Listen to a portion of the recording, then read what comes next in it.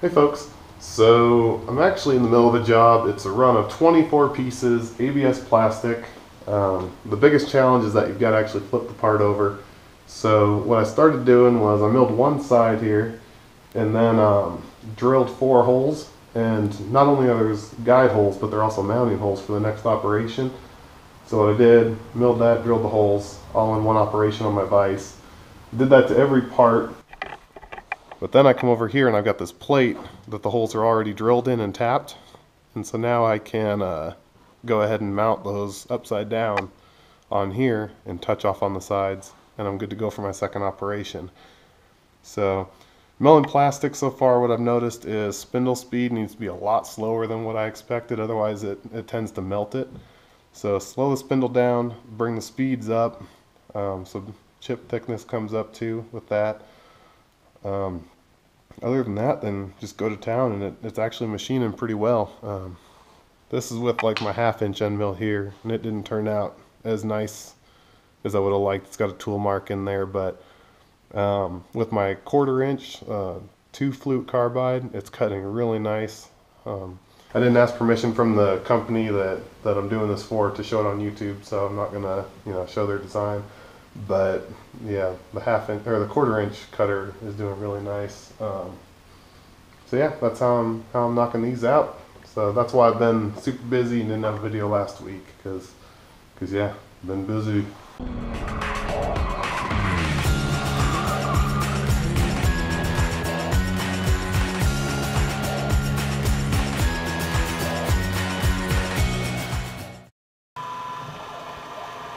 Alright, so here's the half inch end mill. It's just milling that little flat spot I was showing you a second ago. A um, couple cool things here. The vise is obviously clamped to the table. That back jaw, it's not going to move. And then I've got my uh, magnetic, magnetic base there that is also not going to move. So every piece I put in there, as long as I line it up in, in the um, vise um, along that back jaw and up against that that stop on the magnetic base, I don't have to do any touching off. So, so you saw the half inch end mill. Here comes the, it's a quarter inch drill bit. And once again, those will just be used for alignment holes for the next step when I flip the part over. So this made it a lot faster because if I had to touch off on every one of these, it would have been a nightmare to do 25 of these.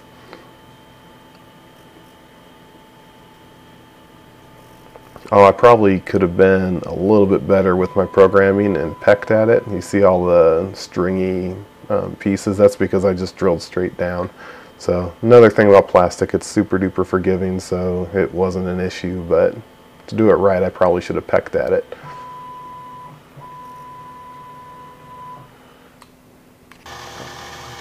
Alright, so now it's turned over, um, bolted down to that um, aluminum plate.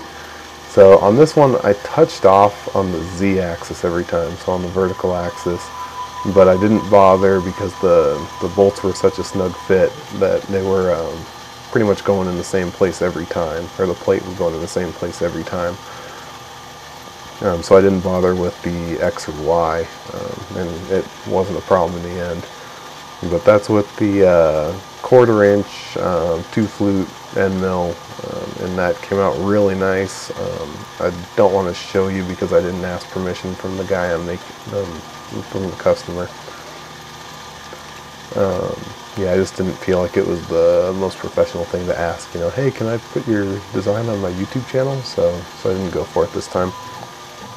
Holy cow! All 24 of them are done. Actually, 25. I did one for good measure. So it's hard to believe there's even a mill under all that plastic. That's after all of them have been done. I haven't vacuumed it out since I started. But holy cow, that's a lot of plastic. And I am so happy to be done with them. So, that was a lot of machine time for this thing. I think this is probably 13 hours of machine time for this little hobby mill. So, I do notice my little spindle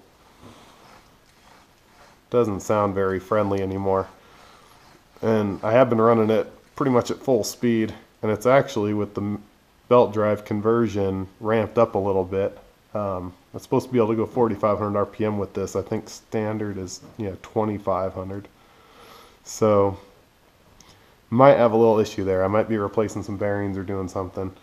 Um, also, I kind of noticed the y-axis started to sound a little bit rough, so I don't know if it just needs um, some grease in it or what.